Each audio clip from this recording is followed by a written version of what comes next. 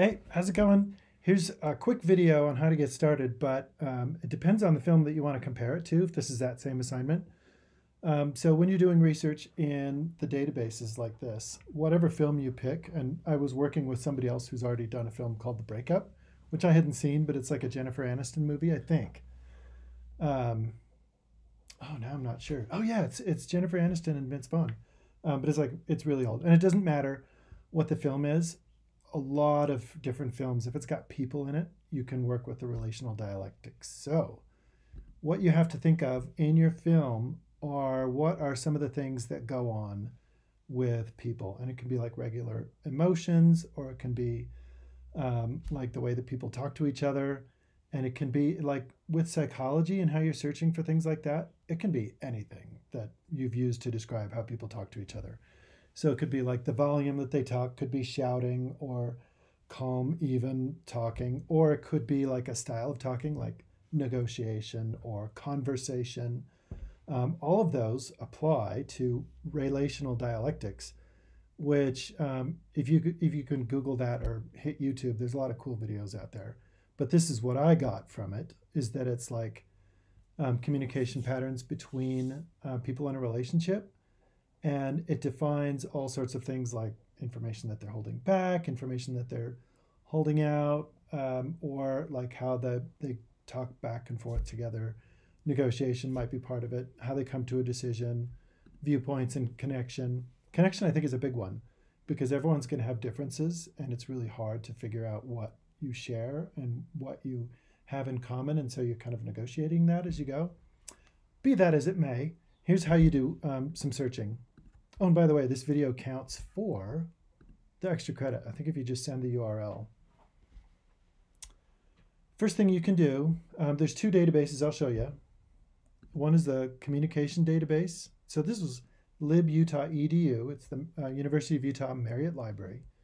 And if you go under databases, you can go into communication. And the top database listed there will be the one that I use communication and mass media complete. I have to keep an eye on the clock because I'm going to get my COVID shot. I'm excited. My shot number one.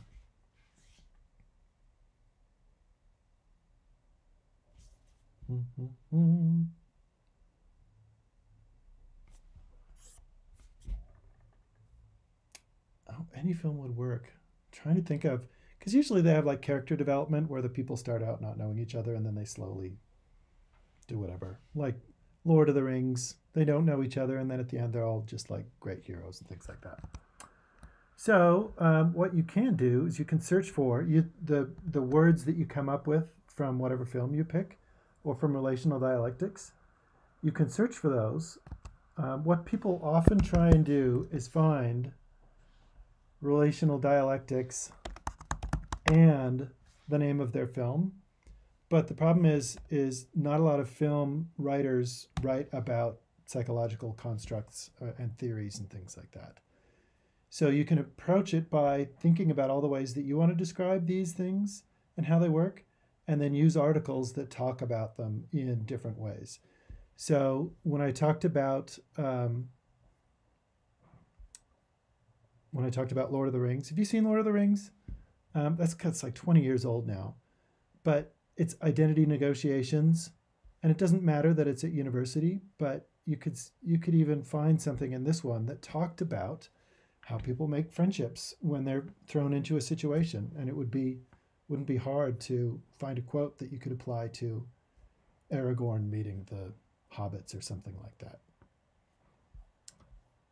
So when you go into a scholarly article, they're going to come to the point in the first page or so and then the rest of the pages are going to be about uh, methodology and defending that viewpoint. So you don't have to read the whole thing um, unless you're into that. Um, but let's see. Oh, here's one where they say something. Mature students often share a sense of separateness from their younger peers. That's, even though that's not like a huge statement, it's a big deal if you are looking at a, a movie and you are saying the the people who are older or the people who are more senior or people who had authority tend to hook up together. So like Aragorn talks differently with Gandalf the wizard than he does with the hobbits. He kind of talks down to them like children. And so when you say Aragorn talks to um, other people, other heroes that are full height or whatever, um, differently than he talks to the hobbits. And according to O'Boyle in 2014, um, they talked about, despite the diversity of an environment, mature students often share a sense of separateness from their younger peers. And that's how you'd put it into your paper. But you can't just hang your hat on um, relational dialectics.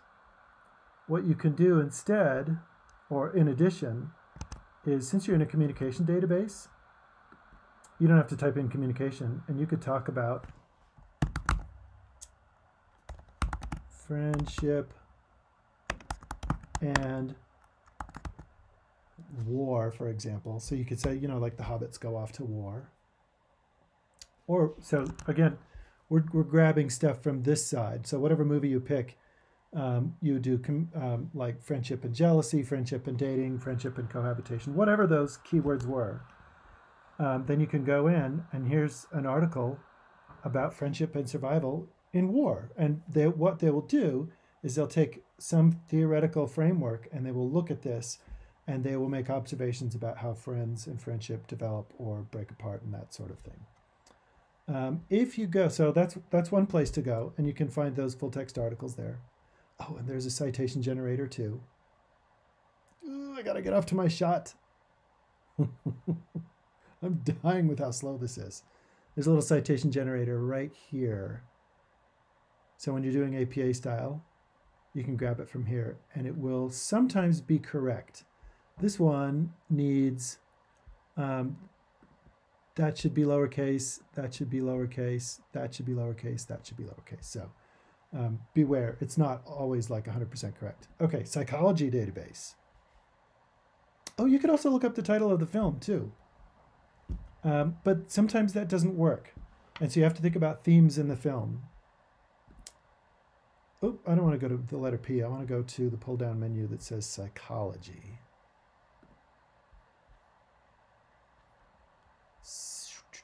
psychology.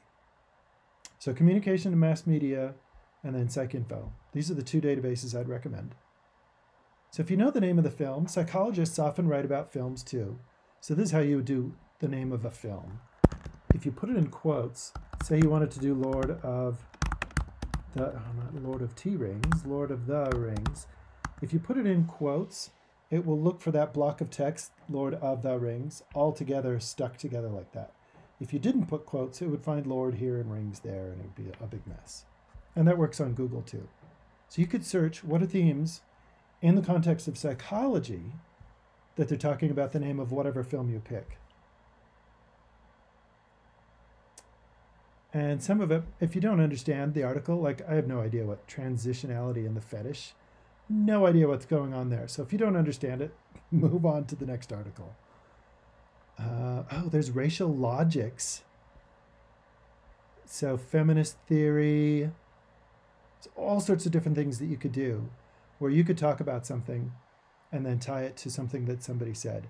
Here's a tip though. If you don't know what to say, find one that looks pretty good. So maybe like the role of a hero and see what the author has to say in that first page or so. And then maybe that could help you figure out what you want to write as well. Okay, so let me let me know how it goes. Um, you can hand this in for extra credit, um, but I'm happy to help further as you go.